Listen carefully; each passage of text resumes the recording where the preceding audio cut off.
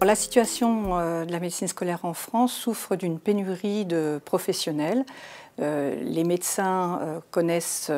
rarement ce qu'est la médecine scolaire. C'est un métier passionnant avec des missions variées, de plus en plus nombreuses, des partenariats riches. Malheureusement, la promotion de ce métier n'en est pas faite. On ignore euh, comment arriver euh, euh, en tant que médecin scolaire. Les salaires sont peu attractifs également, donc le recrutement semble de plus en plus difficile. Cependant, il est possible dans certaines académies d'avoir un recrutement qui permet de renforcer nos, effectifs. à l'heure actuelle, il faut savoir que nous ne sommes plus que 978 médecins sur tout le territoire auprès des élèves. 110 autres médecins sont dans les rectorats et dans les inspections, mais ça fait très peu, sachant qu'en 2005, nous étions plus de 2000 médecins à assurer les besoins de santé des élèves. Deviennent plus administratives, se sont aussi complexifiées depuis le diagnostic des troubles des apprentissages, l'accueil des enfants handicapés dans la loi de 2005. Donc les missions apparaissent complexes, on souffre euh, d'une réelle pénurie suivant les territoires, avec des grandes inégalités euh, sociales euh, de santé, d'accès aux soins. Et nous déplorons de renforcer de façon non volontaire ces inégalités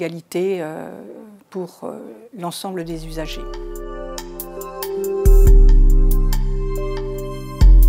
Les médecins de l'éducation nationale ont un double rôle, celui qui est euh, d'assurer euh, la santé et le bien-être euh, pour chaque élève, chaque usager, donc un rôle individuel qui, commence par le bilan de 6 ans, un bilan médical qui effectivement devrait permettre à chaque enfant de rentrer dans le cursus scolaire en ayant l'assurance d'un passeport pour lui permettre de, réussir, un passeport médical, de ses conditions euh, d'apprentissage et en tout cas de veiller dans ce cadre-là à ce qu'il ait euh, des adaptations euh, pédagogiques ou un renforcement de l'écoute auprès de ses enseignants tout le long de son parcours. Après, nous avons un rôle qui est dans la promotion de la santé, euh, le pilotage, la coordination de toutes les actions de promotion euh, et de prévention qui, sont faites sur un bassin de vie. Euh, l'enfant a une vie en dehors de l'école, il, il, a ses parents qui l'éduquent et l'école est là pour coéduquer et apporter ce qui permettra à l'enfant de se construire, euh, construire ses choix, notamment pour sa, santé, en toute liberté et en toute connaissance de cause. Nous, les médecins de l'éducation nationale, nous sommes là pour apporter une coordination et un pilotage de la maternelle au lycée pour effectivement construire des projets de vie euh,